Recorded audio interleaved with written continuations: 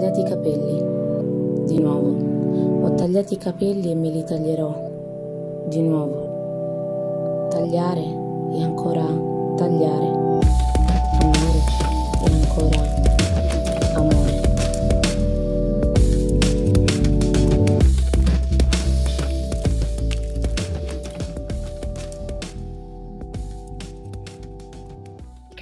Penso sia il punto di partenza di tutta la mia pratica artistica. Io parto da, mm, dal corpo, ma dal mio corpo ovviamente perché um, racconto la mia storia attraverso il mio lavoro e tutto il lavoro che, mm, che svolgo parte dalla mia identità, come dicevi prima, quindi appunto cerco di, attraverso dei lavori, uh, di creare un, questo spazio di negoziazione no? che cerca di in qualche modo um, mettere in dialogo no? queste, due, queste dualità.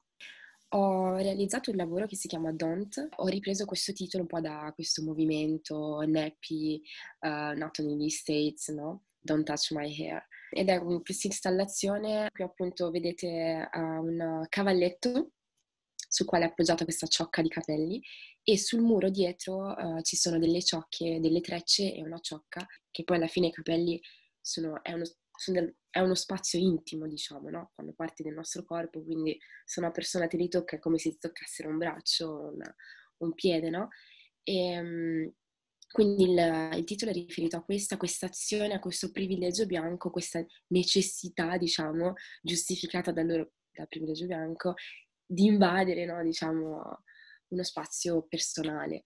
E, e, poi poi tutta una riflessione legata anche un po' al colonialismo, diciamo alla violenza che c'è stata um, con uh, le persone um, colonizzate, no? Cioè quindi questa idea di impossessarsi di, del corpo di una persona. C'è una canzone, eh, in una canzone Sara Tavares dice eh, in creole penachon carapigna naseo. Penachon significa piedi, eh, piedi per terra, dove il chon è molto più di per terra, nel senso è proprio terra, no? E carapigna naseo, portanto il nostro afro è al cielo, eh, che in realtà all'interno della nostra ancestralità esiste un legame, noi non siamo essere, essere disconnessi da tutto ciò che è l'universo e la natura intorno a noi, no? Quindi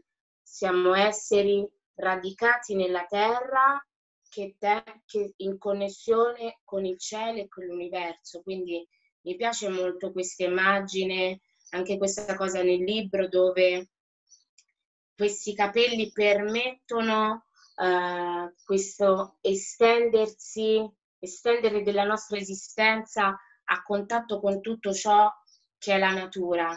È chiaro che all'interno di una cultura um, occidentale che da secoli sfida uh, i limiti della natura e quasi si colloca in una posizione eh, di superiorità. L'essere umano occidente, in Occidente manipola e forza costantemente la natura, no?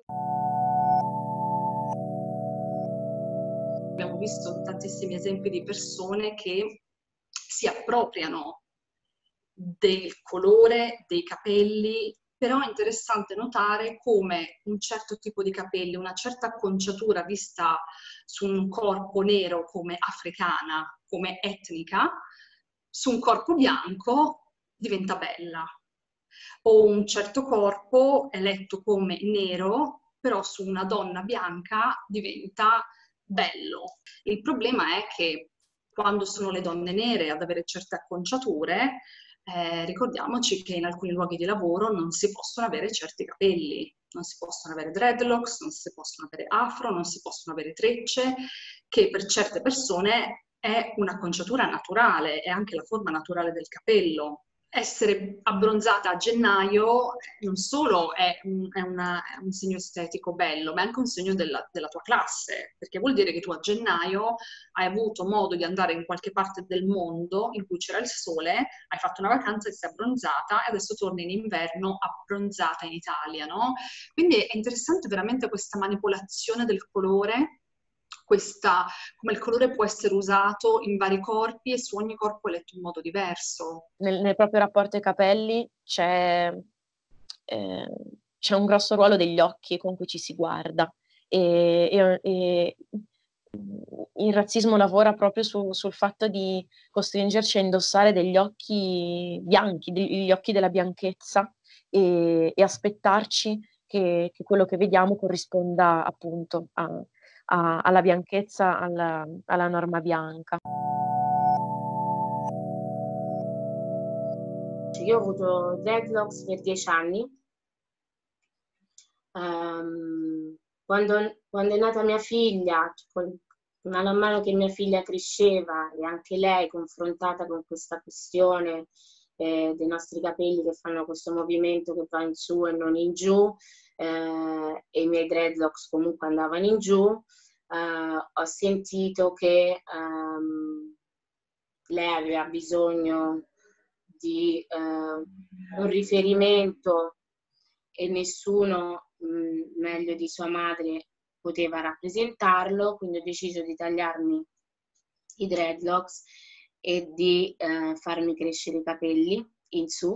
Adesso sono in una posizione in cui tanta gente mi chiede eh, di toccarmi i capelli come se fossi un antistress, di, eh, mi fanno tanti complimenti, che bei capelli, che bei capelli. Eh, è importante sapere che dietro a questi capelli c'è tanta sofferenza e tanto ehm, conflitto proprio interno eh, nel paragonarsi alle, a, a, al, diciamo, di bellezza occidentale e servono modelli. Io spero di essere sempre più possibile la sorella maggiore di tante ragazze che in questo momento magari stanno, si stanno piastrando i capelli, bruciando i capelli, stanno eh, odiando per come sono. E in realtà ci sono tante bellezze ed è giusto anche volersi bene così come si è, senza retorica, proprio così. Detto questo, amo i miei capelli e vi saluto. Ho tagliato i capelli e ho imparato a gridare, a piangere e camminare. Ho imparato ad amare. Me. Amare.